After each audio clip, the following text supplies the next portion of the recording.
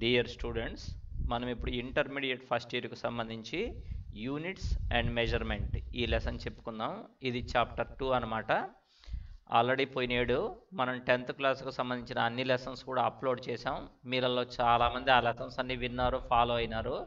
ఆ స్టూడెంట్సే ఇప్పుడు intermediate first ఇయర్కి వచ్చారు. మీలలో చాలామంది వేరు వేరు లెసన్స్ చెప్పమని నాకు మెసేజ్లు పెడుతున్నారు. మనం అన్ని లెసన్స్ చెప్పుకుందాం. ఒక ఆర్డర్లో వద్దాం. ఆల్రెడీ నేను నాలుగైదు లెసన్స్ ఇంటర్మీడియట్ ఫస్ట్ ఇయర్కి సంబంధించి అప్లోడ్ చేశాను. అవన్నీ కూడా మీరు చూడండి. ఎక్కువ మందికి షేర్ చేయండి. టెన్త్ క్లాస్లో వచ్చినన్ని వ్యూస్ ఇంటర్మీడియట్లో లేవు. కాబట్టి మీరు ఏమనుకోకుండా ఎక్కువ మందికి షేర్ చే మీ పార్ట్ మీరు ప్లే చేయండి. అంటే మీరు నాకు కొంచెం ఎంకరేజ్ చేయండి. ఎక్కువ మంది చూస్తూ ఉంటే నాకు కూడా ఎక్కువ లెసన్స్ చెప్పాలనే భావన కలుగుతుందన్నమాట. ఈ లె- ఈ వీడియో వినంగానే మీరు రెస్పాండ్ అయ్యి నాకు మెసేజ్ కూడా పెట్టండి. నాకు వ్యూస్ ఎక్కువ ఉంటే ఎక్కువ లెసన్స్ చెప్పడానికి ఇంట్రెస్ట్ వస్తుందన్నమాట. అంతే కదా? యూనిట్స్ అండ్ డైమెన్షన్స్ ఈ లెసన్లో మనం మొదట ఫిజికల్ క్వాంటిటీ అంటే ఏంటో నేర్చుకుందాం. మనం ఫిజిక్స్లో చాలా పదాలు వింటూ ఉంటాం. ఏమేంటవి? Velocity displacement time mass weight work ఇవన్నీ కూడా మనం ఫిజిక్స్లో వినేటువంటి పదాలు వీటిని ఫిజికల్ క్వాంటిటీస్ అంటారు. అంటే ఫిజికల్ క్వాంటిటీ అంటే యాక్చువల్ మీనింగ్ ఏంటంటే దేన్నైతే మనం మెజర్ చేయగలమో అవన్నీ కూడా ఫిజికల్ క్వాంటిటీసే. ఇప్పుడు లెంగ్త్ ఉందనుకోండి దాన్ని మెజర్ చేయగలం మనం. టేప్తో కానీ స్కేల్తో కానీ లేదా ఏ ఇంకొక పద్ధతిలో అయినా సరే. అందువల్ల లెంగ్త్ అనేది ఒక ఫిజికల్ క్వాంటిటీ. టైంని కూడా మెజర్ చేయగలం. మన దగ్గర వాచ్ ఉంది కదా. అలానే మాస్ కూడా మనం మెజర్ చేయగలం. మన దగ్గర బ్యాలెన్స్ ఉంటుంది దాంతో మాస్ మెజర్ చేయగలం. టెంపరేచర్ మెజర్ చేయగలం. వేటినైతే మనం మెజర్ చేయగలమో అవన్నీ కూడా ఫిజికల్ క్వాంటిటీసే మనం మెజర్ చేయలేకపోతే అది అసలు ఫిజికల్ క్వాంటిటీనే కాదనమాట. ఫర్ ఎగ్జాంపుల్ మీ మనసు. మీ మనసులో ఏముందో చెప్పలేం కదా? ఏమనుకుంటున్నారో మనకు తెలియదు కదా? అలాంటప్పుడు మనసు అనేది ఒక ఫిజికల్ క్వాంటిటీ కాదు. ఎందుకంటే దాన్ని మనం మెజర్ చేయలేం కదా. So any quantity that can be measurable is called a physical quantity కొలవటానికి వీలున్న దాన్ని ఫిజికల్ క్వాంటిటీ అంటారు. ఫిజికల్ క్వాంటిటీస్ రెండు రకాలు. Fundamental physical quantities derived physical quantities first fundamental physical quantities అంటే ఏంటో నేర్చుకుందాం.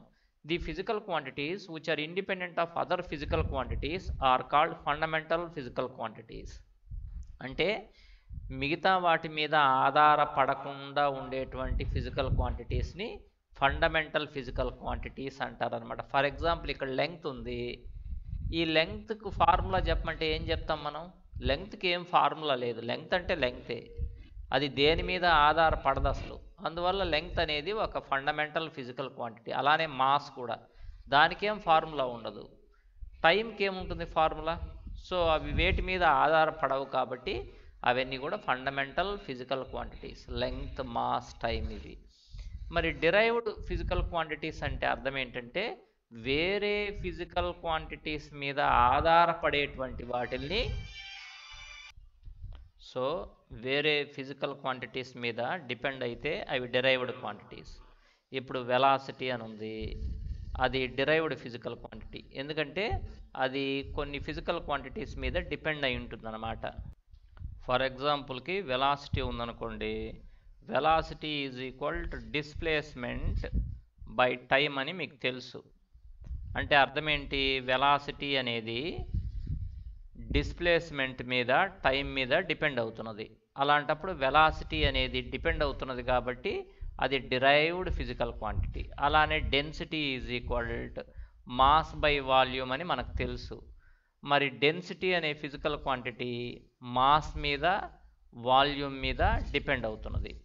అందువల్ల డెఫినెట్గా ఈ డెన్సిటీ అనేది derived physical quantity so derived physical quantity అంటే ఏంటి?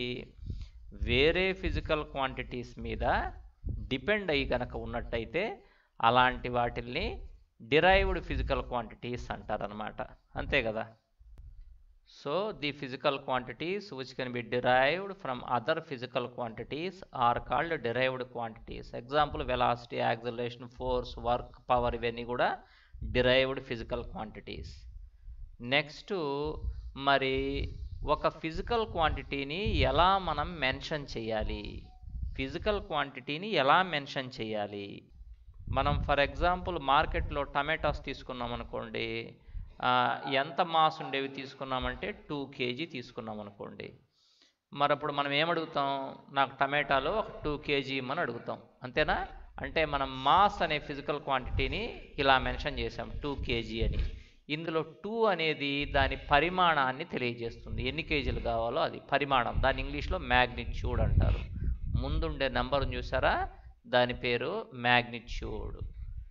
ప్రక్కనే కేజీ అని చూసారా? దాన్ని యూనిట్ అంటారు. కాబట్టి ఒక ఫిజికల్ క్వాంటిటీని మనం మెన్షన్ చేసేటప్పుడు ఖచ్చితంగా రెండు ఫ్యాక్టర్స్ని గుర్తుపెట్టుకోవాలి. దాని మ్యాగ్నిట్యూడ్ యూనిట్. ఈ రెండిట్లో ఏ ఒక్కటి మెన్షన్ చేయకపోయినా కూడా మనం కరెక్ట్గా మెన్షన్ చేసినట్టు కాదు. ఫర్ ఎగ్జాంపుల్ ఈ రూమ్ లెంగ్త్ ఎంత అంటే సమ్ సెవెన్ అన్నామనుకో ఈ రూమ్ లెంగ్త్ సెవెన్ అంటే ఏమని? సెవెన్ ఫీటా? సెవెన్ మీటర్సా? లేకపోతే ఎంతని అనే కన్ఫ్యూజన్ వస్తుంది కదా. మనం ఈ రూమ్ లెంగ్త్ సెవెన్ మీటర్స్ అన్నామనుకో అప్పుడు కరెక్ట్గా చెప్పేసినట్టే. లెంగ్త్ సెవెన్ మీటర్స్ అంటే సెవెన్ అనేది మ్యాగ్నిట్యూడ్ ఈ మీటర్స్ అనేది యూనిట్ అన్నమాట. సో ఒక ఫిజికల్ క్వాంటిటీని మనం మెన్షన్ చేసేటప్పుడు డెఫినెట్గా మ్యాగ్నిట్యూడ్ తెలియచేయాలి యూనిట్ కూడా తెలియచేయాలి ఈ రెండిట్లో ఏది మర్చిపోయినా కూడా మనం చెప్పింది కరెక్ట్ కాదనమాట అర్థమవుతుందా? దీన్ని సింపుల్గా ఎన్యు అంటారు. ఎన్ అంటేనేమో నంబర్ అనమాట ముందుండే నెంబర్. యు అంటే యూనిట్. సో ఒక ఫిజికల్ క్వాంటిటీని ఎన్యు అని మెజర్ చేయాలి. ఓకేనా? మరి ఫండమెంటల్ యూనిట్స్ అంటే ఏంటి? ఫండమెంటల్ ఫిజికల్ క్వాంటిటీస్ చెప్పాను కదా ఇందాక. వాటి యొక్క యూనిట్స్ని ఫండమెంటల్ యూనిట్స్ అంటారనమాట అలానే డిరైవ్డ్ ఫిజికల్ క్వాంటిటీస్ ఉన్నాయి కదా వాటి యొక్క యూనిట్స్ని డిరైవ్డ్ యూనిట్స్ అంటారు. ఫర్ ఎగ్జాంపుల్ ఇప్పుడు లెంగ్త్ అనేది ఫండమెంటల్ ఫిజికల్ క్వాంటిటీ కదా దాని యూనిట్ మీటర్ కదా అది ఫండమెంటల్ యూనిట్ అలానే మాస్ అనేది ఫండమెంటల్ ఫిజికల్ క్వాంటిటీ కదా దాని యూనిట్ కేజీ అనేది ఫండమెంటల్ యూనిట్ అనమాట so metre K G second ఇవన్నీ కూడా fundamental units fundamental physical quantities యొక్క యూనిట్స్ని ఫండమెంటల్ యూనిట్స్ అంటారు. అలానే డిరైవ్డ్ యూనిట్స్ అంటే the units of derived quantities are called derived units ఇప్పుడు వెలాసిటీ అని చెప్పాను కదా అది డిరైవ్డ్ ఫిజికల్ క్వాంటిటీ కదా. దాని యొక్క యూనిట్ మీటర్ పర్ సెకండ్ అనేది డిరైవ్డ్ యూనిట్ అలానే ఫోర్స్ అనేది డిరైవ్డ్ ఫిజికల్ క్వాంటిటీ కదా. దాని యూనిట్ న్యూటన్ కానీ లేకపోతే డైన్ కానీ ఇది డిరైవ్డ్ యూనిట్ అనమాట ఓకేనా? ఇలా చెప్పాలి. సరే నెక్స్ట్ ఈ ఫిజికల్ క్వాంటిటీస్ని రకరకాలైన కొలత పద్ధతుల్లో కొలిచేవాళ్ళు. సిస్టమ్ ఆఫ్ యూనిట్స్ అంటే కొలత పద్ధతులు. ఫర్ ఎగ్జాంపుల్ లెంగ్త్ కొలవమంటే కొంతమంది జాన జాన పెట్టి కొలిచేవాళ్ళు ఇంతకుముందు. బెత్తలు మూరా అని కొలిచేవాళ్ళు లెంగ్త్ని. తర్వాత ఫూట్ అడుగుల్లో కొలిచేవాళ్ళు. తర్వాత నెక్స్ట్ మీటర్స్ సెంటీమీటర్స్ ఒక్కొక్క చోట ఒక్కొక్క రకంగా మెదర్ చేసేవాళ్ళు అనమాట మరి ఎవరిది కరెక్ట్ అంటే అందరిది కరెక్టే కొలిచే పద్ధతి వేరు కానీ కొలత కరెక్టే కదా. సో ఎన్ని రకాలైనటువంటి కొలత పద్ధతులు ఉన్నాయి సిస్టమ్ ఆఫ్ యూనిట్స్ ఉన్నాయంటే మనం కొన్ని నేర్చుకుందాం. వాటిలో CGS system FPS system MKS system and SI system అనేది ఇంపార్టెంట్ సిస్టమ్స్ అనమాట ఫస్ట్ మనం సిజిఎస్ సిస్టమ్ సిజిఎస్ సిస్టంలో లెంగ్త్కి సెంటీమీటర్ అనేది యూనిట్ అలానే మాస్కి గ్రామ్ యూనిట్ టైంకి సెకండ్ యూనిట్ సిజిఎస్ అంటే సెంటీమీటర్ గ్రామ్ సెకండ్ అని అర్థం అనమాట లెంగ్త్కేమో సెంటీమీటర్ మాస్క్ ఏమో గ్రామ్ టైంకి ఏమో సెకండ్. అలానే ఎఫ్పిఎస్ సిస్టమ్ అనేది ఇంకొక సిస్టమ్. దాంట్లో లెంగ్త్కేమో ఫూట్ అడుగు. మాస్క్ ఏమో పౌండ్ పౌండ్ అంటారు. టైంకి ఏమో సెకండే. కాబట్టి దీంట్లో foot pound second. MKS system అంటే దాంట్లో లెంగ్త్కి ఏమో మీటర్ మాస్క్ ఏమో కేజీ. టైంకేమో సెకండ్. ఈ మూడు సిస్టమ్స్లో కూడా టైంకి మాత్రం సెకండే యూనిట్ అనమాట నెక్స్ట్ నాలుగోది ఎస్ఐ సిస్టమ్. దీన్ని ఇంటర్నేషనల్ సిస్టమ్ ఆఫ్ యూనిట్స్ అంటారు. ఎస్ఐ సిస్టమ్ అంటే ఇంటర్నేషనల్ సిస్టమ్ ఆఫ్ యూనిట్స్. ఇదే లేటెస్ట్గా అందరం వాడే సిస్టమ్ వీటన్నిటిలోకి. ఈ సిస్టమ్ ఈ మూడు సిస్టమ్స్లో కూడా సిజిఎస్ ఎఫ్పిఎస్ ఎంకేఎస్ ఈ మూడు సిస్టమ్స్లో కూడా ఫండమెంటల్ క్వాంటిటీస్ మూడే. లెంగ్త్ మాసు టైం దీంట్లో కానీ ఎఫ్పిఎస్లో కానీ ఎంకేఎస్ ఈ మూడిట్లో కూడా ఫండమెంటల్ ఫిజికల్ క్వాంటిటీస్ మూడే. లెంగ్త్ మాస్ టైం ఎస్ఐ సిస్టంలో మాత్రం ఫండమెంటల్ ఫిజికల్ క్వాంటిటీస్ సెవెన్ ఉన్నాయి. అండ్ వాటితో పాటుగా సప్లిమెంటరీ క్వాంటిటీస్ ఒక టూ ఉన్నాయి. అవి ఎలా అనేది నేను మీకు చూపిస్తాను ఇప్పుడు. ఇక్కడ చూడండి సిజిఎస్ ఎంకేఎస్ ఎఫ్పిఎస్ లెంగ్త్కి ఏమో సిజిఎస్లో అయితే సెంటీమీటర్ అనేది యూనిట్ ఇది సింబల్ అదే ఎంకేఎస్లో అయితేనేమో మీటర్ ఎఫ్పిఎస్లోనైతేనేమో ఫుట్. మాస్కి గ్రామ్ కిలోగ్రామ్ పౌండ్. టైంకి అయితే మూడు సిస్టమ్స్లో కూడా సెకండే. అలా కాకుండా ఎస్ఐ సిస్టమ్ చెప్పాను కదా ఎస్ఐ సిస్టంలో సెవెన్ ఉన్నాయి ఫండమెంటల్ ఫిజికల్ క్వాంటిటీస్. వాటికి ఇవన్నీ యూనిట్స్ అనమాట ఇవి సింబల్స్. లెంగ్త్ అని ఒకటి ఉంది దానికి మీటర్. దాన్ని స్మాల్ ఎంతో డినోట్ చేస్తాం. అది దాని సింబల్ మాస్ దానికి kilogram K G time second second ఈ మూడు మిగతా మూడిట్లో కూడా ఉన్నాయి. దీంట్లో అదనంగా ఈ నాలుగు. ఎలక్ట్రిక్ కరెంట్ దానికి యాంపియర్ ఏ టెంపరేచర్ దానికి యూనిట్ ఏంటంటే kelvin symbol K amount of substance mole అంటారు. ఎంఓఎల్ అనేది సింబల్ ల్యూమినస్ ఇంటెన్సిటీ కాంతి తీవ్రత దీనికి క్యాండిలా యూనిట్ అనమాట సిడి అని మెన్షన్ చేస్తాం. ఇవి ఏడు కూడా ఫండమెంటల్ ఫిజికల్ క్వాంటిటీస్. ఎందులో అంటే ఎస్ఐ సిస్టంలో. అలానే supplementary physical quantities ఏమేంటంటే plane angle solid angle. Plane యాంగిల్కి ఏమో రేడియన్ సాలిడ్ యాంగిల్కి ఏమో స్టెరేడియన్. వాటికి సింబల్స్ ఆర్ఏడి ఎస్ఆర్ ఓకేనా? ఇక్కడ ఇంకొక విషయం. వన్ డిగ్రీ యాంగిల్ కదా డిగ్రీ అంటే. వన్ డిగ్రీ అంటే సిక్స్టీ మినిట్స్. ఇట్లా ఒక గీత పెడితే మినిట్ అని. వన్ మినిట్ అంటే సిక్స్టీ సెకండ్స్ గుర్తుపెట్టుకోండి. అలానే వన్ సెకండ్ అంటే four point eight five into ten power minus six radians. ఇవి కూడా మనం గుర్తుపెట్టుకోవాల్సినటువంటి విషయాలు. ఇప్పుడు ప్లేన్ యాంగిల్ అంటే ఏంటి? సాలిడ్ యాంగిల్ అంటే ఏంటి అనేది ఒకసారి చూద్దాం మనం. ఇక్కడ చూడండి ఎస్ఐ సిస్టంలో నేను ఇప్పుడు చెప్పిన సెవెన్ ఫండమెంటల్ ఫిజికల్ క్వాంటిటీస్ వాటి యూనిట్స్ వాటి సింబల్స్ ఇచ్చాడనమాట టెక్స్ట్ బుక్లో. అండ్ ఇంకా ఏంటంటే వాటికి డెఫినేషన్స్ కూడా. మీటర్ అంటే ఏంటి? కేజీ అంటే డెఫినేషన్ ఏంటి? స్టా సెకండ్ అంటే డెఫినేషన్ ఏంటి? ఇవి కూడా మనం ఒకసారి చూడాలి. నేను మీకు మీటర్ అంటే చెప్తా. Metre is the length of the path travelled by light in vacuum during a time interval of one by two nine nine seven nine two point four five eight of a second అంటే అర్థం ఏంటంటే కాంతి ఒక సెకనులో ఇన్నో వంతు. అంటే ఒక సెకనులో రెండు వందల తొంభై తొమ్మిది ఏడు వందల తొంభై అంటే two nine nine seven nine two point four five eight. అంటే ఒక సెకన్లో ఇన్నో వంతులు టైంలో అంటే చాలా తక్కువ టైం. సెకండ్ అనేదే చాలా చిన్నది. అందులో మళ్ళీ ఇన్నో వంతు అంటే చాలా తక్కువ టైం. ఆ టైంలో వ్యాక్యూమ్లో ఎంత డిస్టెన్స్ అయితే వెళ్తుందో ఆ డిస్టెన్స్ని మీటర్ అంటారనమాట అర్థమవుతుందా? మీటర్ అంటే అది డెఫినేషన్ అలానే ఈ డెఫినేషన్స్ కూడా మనం చూసుకోవాలి. తర్వాత అవసరపడతాయి అవి మనకి. తెలుసుకొని ఉండటం మంచిదన్నమాట. ఓకేనా? నెక్స్ట్ ఇవి కూడా ఇలాంటి కన్వర్షన్స్ కూడా. మినిట్ అంటే సిక్స్టీ సెకండ్స్ అవర్ అంటే సిక్స్టీ మినిట్స్ అంటే three thousand six hundred seconds day అంటే twenty four hours year year అంటే సంవత్సరం. క్యారెట్ అంటే టూ హండ్రెడ్ మిల్లీగ్రామ్స్ అంటే మనం గోల్డ్ అవి చూస్తాం కదా అలా బార్ అనేది ప్రెజర్కి యూనిట్ అనమాట బార్ అంటే టెన్ పవర్ ఫైవ్ పాస్కల్స్. ఇలా ఈ యూనిట్స్ కూడా మనం ఇది ఎస్ఐ సిస్టంలో ఇవి కూడా యూస్ చేస్తుంటాం మనం. అవన్నీ డిరైవ్డ్ ఫిజికల్ క్వాంటిటీస్. ఓకేనా? కాబట్టి డెఫినెట్గా అవన్నీ కూడా మనం చూసి పెట్టుకోవాలన్నమాట. మరి ఇప్పుడు సాలిడ్ యాంగిల్ అది కదా మనం చెప్పుకుంటున్నాం. ఇక్కడ చూడండి ఇదేంటంటే ఒక సెక్టర్. అంటే ఇక్కడ ఇది ఒక సర్కిల్ అనమాట ఆ సర్కిల్లో ఇది సెంటర్ ఇది ఒక సెక్టర్ అనమాట ఇదేంటంటే ఆర్క్. ఆర్క్ అంటే చాపము. దాని లెంగ్త్ ఎంత? డిఎస్.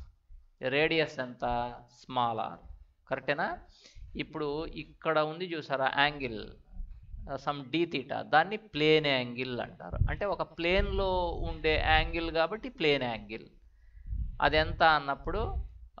ఆర్క్ బై రేడియస్ అంటే డిఎస్ బై ఆర్ అనమాట సో ప్లేన్ యాంగిల్ టీ తీటాకు ఫార్ములా ఏంటంటే ఆర్క్ బై రేడియస్ దీనికి యూనిట్ ఏంటంటే రేడియన్ సో ప్లేన్ యాంగిల్కు యూనిట్ ఏంటి అంటే రేడియన్ అనమాట it is the ratio of length of the arc to the radius అంతే కదా?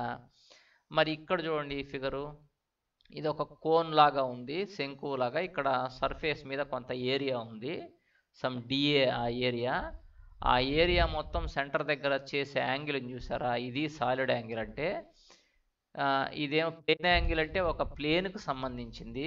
సాలిడ్ యాంగిల్ అంటే స్పేస్కు సంబంధించింది అనమాట ఇక్కడ డి ఒమేగా ఉంది చూసారా? ఇదే సాలిడ్ యాంగిల్ దానికి ఫార్ములా ఏంటంటే ఈ area DA by radius square so solid angle is the ratio of area to the square of the radius దీనికి యూనిట్ ఏంటి అంటే స్టెరేడియన్.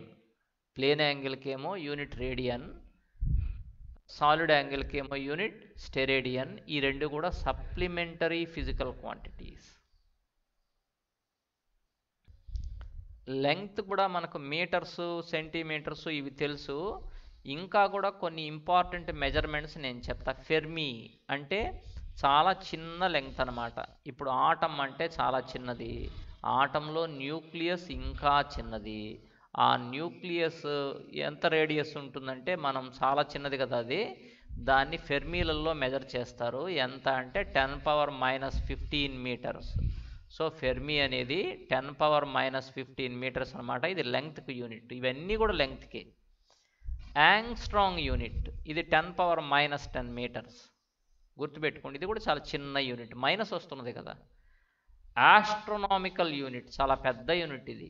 ఖగోళ దూరాలు కొలిచే యూనిట్ అంటే ఒక ప్లానెట్ నుంచి ఇంకొక ప్లానెట్ ఎంత డిస్టెన్స్లో ఉంది అని చెప్పేది కదా ఆస్ట్రోనామికల్ యూనిట్ దాని వాల్యూ ఎంత అంటే four one point four nine six into ten power eleven metres చాలా పెద్ద యూనిట్ లైట్ ఇయర్ అంటే తెలుసా? లైటు ఒక సెకండ్లోనే చాలా డిస్టెన్స్ వెళ్తుందని మీకు తెలుసు. చాలా స్పీడ్ కదా లైట్. ఒక సెకండ్లోనే చాలా డిస్టెన్స్ వెళ్ళిపోతుంది. అలాంటి లైట్ వన్ ఇయర్లో ఎంత డిస్టెన్స్ వెళ్ళిందో ఆ డిస్టెన్స్ను లైట్ ఇయర్ అంటారు. కాబట్టి లైట్ ఇయర్ అనేది దేనికి యూనిట్ అంటే ఫస్ట్ డిస్టెన్స్కు అని చెప్పాలి. లైట్ ఇయర్ అనేది డిస్టెన్స్కు యూనిట్. లైటు వన్ ఇయర్లో ఎంత డిస్టెన్స్ అయితే వెళ్తుందో వ్యాక్యూమ్లో అది లైట్ ఇయర్ అంటే దాని value nine point four six into ten power fifteen metres. అలానే పార్సెక్ అనేది కూడా డిస్టెన్స్కే యూనిట్ అనమాట దాని value three point zero eight into ten power sixteen metres. ఓకేనా? ఇవన్నీ కూడా లెంగ్త్కి యూనిట్సే. మనం గుర్తుపెట్టుకోవాలి. ఓకే. నెక్స్ట్ మనం డైమెన్షన్స్ అంటే ఏంటి?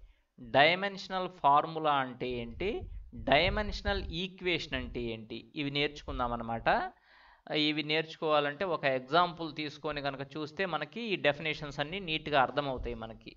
సో డైమెన్షన్ అంటే ఏంటి? డైమెన్షనల్ ఫార్ములా అంటే ఏంటి? Dimensional equation. ఇవి మనం ఇప్పుడు నేర్చుకోబోయే కాన్సెప్ట్. డైమెన్షనల్ ఫార్ములాస్ మనం రాసేటప్పుడు లెంగ్త్ లెంగ్త్ అనేది ఫండమెంటల్ ఫిజికల్ క్వాంటిటీ కదా. లెంగ్త్ని మనం క్యాపిటల్ ఎల్తో డినోట్ చేయాలి. అంటే లెంగ్త్ యూనిట్ని క్యాపిటల్ ఎల్తోనే డినోట్ చేయాలి. అలానే మాస్ అనేది కూడా ఫండమెంటల్ ఫిజికల్ క్వాంటిటీ కదా. దాని యూనిట్ని క్యాపిటల్ ఎంతోనే డినోట్ చేయాలి. టైం అనేది కూడా ఫండమెంటల్ ఫిజికల్ క్వాంటిటీ యూనిట్ని కూడా మనం క్యాపిటల్ టీతోనే డినోట్ చేయాలి. అంటే క్యాపిటల్ లెటర్సే యూస్ చేయాలి. ఓకేనా? లెంగ్త్ యూనిట్ని క్యాపిటల్ ఎల్తో మాస్ యూనిట్ని క్యాపిటల్ ఎంతో టైమ్ యూనిట్ని క్యాపిటల్ టీతో డినోట్ చేయాలి. ఇప్పుడు నేను డైమెన్షనల్ ఫార్ములా ఆఫ్ వెలాసిటీ ఇది రాయబోతున్నా. Dimensional formula of velocity is equal velocity అంటే డిస్ప్లేస్మెంట్ బై టైమ్ అని మీకు తెలుసు. డిస్ప్లేస్మెంట్ అన్నా కూడా లెంగ్తే కదా కాబట్టి దాన్ని ఎల్ అని రాద్దాం. డిస్ప్లేస్మెంట్ అన్నా కూడా లెంగ్తే కాబట్టి ఎల్ టైం అంటే టీ అప్పుడు ఓవరాల్గా ఎల్టీ పవర్ మైనస్ వన్ అంటే నాకు డైమెన్షనల్ ఫార్ములా ఆఫ్ వెలాసిటీ ఎంత వచ్చింది ఎం లేదు కాబట్టి ఇక్కడ ఎక్కడ? M power zero M power zero అంటే వన్నే కదా? L power one T power minus one అని వచ్చింది. ఇదేంటిది? డైమెన్షనల్ ఫార్ములా ఆఫ్ వెలాసిటీ అంటే ఇలా రాయటం వల్ల మనకు వచ్చిన లాభం ఏంటి? ఈ వెలాసిటీ అనే డిరైవ్డ్ ఫిజికల్ క్వాంటిటీలో ఏ ఏ ఫండమెంటల్ ఫిజికల్ క్వాంటిటీస్ ఉన్నాయో మనకు తెలుస్తున్నది. ఈ వెలాసిటీ అనే డిరైవ్డ్ ఫిజికల్ క్వాంటిటీలో మాస్ అనే ఫండమెంటల్ క్వాంటిటీ లేదు అసలు. ఎం పవర్ జీరో వచ్చింది కదా. లెంగ్త్ ఉంది టైం ఉంది. ఓకేనా ఇప్పుడు మనం డైమెన్షనల్ ఫార్ములా రాసాం కదా. ఇక్కడ పైన పవర్స్ ఉన్నాయి చూసారా వాటిని డైమెన్షన్స్ అంటారు. అంటే mass dimension zero length dimension one time dimension minus two ఓకేనా సో ఇప్పుడు ఇలా మనం డైమెన్షనల్ ఫార్ములా రాయాలి. మరి దీన్ని డైమెన్షనల్ ఫార్ములా రాసాం కదా డైమెన్షనల్ ఈక్వేషన్ అంటే ఏంటి? ఇదే.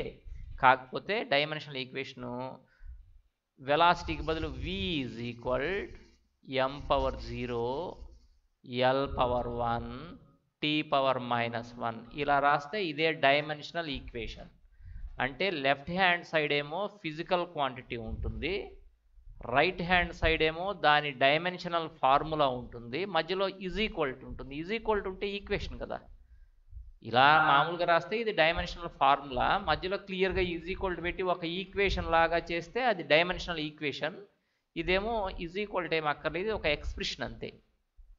ఈ పవర్స్ ఉన్నాయి చూసారా? ఈ పవర్స్ని ఏమంటారంటే డైమెన్షన్స్ అంటారు. ఓకే ఇప్పుడు ఇక్కడ చూద్దాం. డైమెన్షనల్ ఫార్ములా అంటే ఏంటి? The expression showing the powers to which the fundamental quantities are to be raised to represent a physical quantity is called a dimensional formula. Dimensional formula of velocity ఏంటి? ఇప్పుడే చెప్పాను కదా M power zero L power one T power minus one అని. ఇది ఒక dimensional formula అనమాట అంటే ఇది ఒక ఎక్స్ప్రెషనే ఈజ్ ఈక్వల్ పెట్టాల్సిన పనేమీ లేదు. ఇక్కడ జీరో వన్ మైనస్ వన్ ఉన్నాయి చూసారా? అవి dimensions mass dimension zero length dimension one time dimension minus one ఓకేనా సో డైమెన్షన్స్ అంటే ఏంటి? పైన ఉండే పవర్సే the dimensions of a physical quantity are the powers ఈ పవర్సే డైమెన్షన్స్ అంటే? To which the fundamental quantities are to be raised fundamental క్వాంటిటీస్ను ఏ పవర్కైతే మనం రైజ్ చేస్తున్నామో ఆ పవర్స్ని డైమెన్షన్స్ అంటారు అనమాట ఓకేనా డైమెన్షనల్ ఈక్వేషన్ అంటే ఏంటి? సింపుల్గా ఇక్కడ రాసి ఇదే dimensional equation left hand side ఏమో ఫిజికల్ క్వాంటిటీ ఉంటుంది రైట్ హ్యాండ్ సైడ్ ఏమో దాని డైమెన్షనల్ ఫార్ములా ఉంటుంది మధ్యలో ఈజ్ ఈక్వల్ ఉంటుంది. ఓకేనా? అన్ ఈక్వేషన్ ఎప్పుడైతే ఈక్వేషన్ అన్నామో మధ్యలో ఈజ్ ఈక్వల్ టు ఉన్నట్టే లెక్క. An equation containing the symbol of a physical quantity on left hand side and its dimensional formula on right hand side is called dimensional equation left hand సైడ్లో physical quantity symbol ఉంటుంది right hand సైడ్లోనేమో దాని dimensional formula ఉంటుంది మధ్యలో is equal to ఉంటుంది. అలా ఉంటే అది డైమెన్షనల్ ఈక్వేషన్ అనమాట ఇంకోటి కూడా రాసి చూద్దాం మనం. ఇక్కడ చూడండి density is equal to mass by volume అని మీకు తెలుసు. ఓకేనా? మరి density is equal to mass by volume అంటే length into breadth into height. అంటే density is equal to mass నేమో క్యాపిటల్ ఎం అని రాయాలి. లెంగ్త్కు క్యాపిటల్ ఎల్ బ్రెత్ అనేది కూడా లెంగ్తే కాబట్టి ఎల్ హైట్ అనేది కూడా లెంగ్తే కాబట్టి ఎల్ ఇప్పుడు నేనేం చేస్తున్నాను? డైమెన్షనల్ ఫార్ములా రాస్తున్నా. ఇక్కడ dimensional formula of density density D is equal ఇలా రాశా. అప్పుడు నాకు ఎంత వచ్చింది ఎం బై ఎల్ క్యూబ్ అని వచ్చింది అంటే M L power minus three ఓకేనా? మరి దీన్ని ఎలా రాయొచ్చు మనం? M power one L power minus three T power zero T లేదు కదా. అలాంటప్పుడు మాస్ డైమెన్షన్ ఎంత? వన్. లెంగ్త్ డైమెన్షన్ ఎంత? Minus three. టైం డైమెన్షన్ ఎంత? జీరో. ఇప్పుడు మనం ఏం రాసాం డెన్సిటీకి డైమెన్షనల్ ఫార్ములా రాసాం మరి డైమెన్షనల్ ఈక్వేషన్ అంటే ఎట్లా ఉంటుంది? ఇదే రాస్తాం. D is equal M power one L power minus three T power zero అని రాస్తాం. లేకపోతే టీ లేదు కాబట్టి D is equal ML power minus three అని రాసినా కరెక్టే ఈ రెండు ఒకటే కదా. ఇప్పుడు మనం రాసింది డైమెన్షనల్ ఈక్వేషన్ అనమాట ఇలా ఒక డిరైవ్డ్ ఫిజికల్ క్వాంటిటీకి డైమెన్షనల్ ఈక్వేషన్ రాయటం వల్ల మనకు ఏం తెలుస్తుందంటే ఆ డిరైవ్డ్ ఫిజికల్ క్వాంటిటీలో ఏ ఏ ఫండమెంటల్ క్వాంటిటీస్ ఉన్నాయో ఎలా ఉన్నాయో తెలుస్తుందన్నమాట. ఓకేనా? దీని ఉపయోగాలు ఏంటి అనేది నెక్స్ట్ చెప్పుకుందాం మనం. ఇలా మనం డైమెన్షనల్ ఫార్ములాస్ రాసేటప్పుడు డెఫినెంట్గా క్యాపిటల్ లెటర్సే యూస్ చేయాలి. లెంగ్త్కేమో ఎల్ మాస్కేమో ఎం టైంకేమో టీ అని యూస్ చేయాలన్నమాట. ఓకేనా? అది మనం యూస్ చే ఇలా క్యాపిటల్ లెటర్స్ మాత్రమే యూస్ చేయాలన్నమాట. నెక్స్ట్ క్లాస్లో మనం ఈ డైమెన్షనల్ ఈక్వేషన్స్ రాయటం వల్ల మనకు ఏ ఏ ఉపయోగాలు ఉన్నాయి ఫిజిక్స్లో అనేది క్లియర్గా చూద్దాం. Okay right.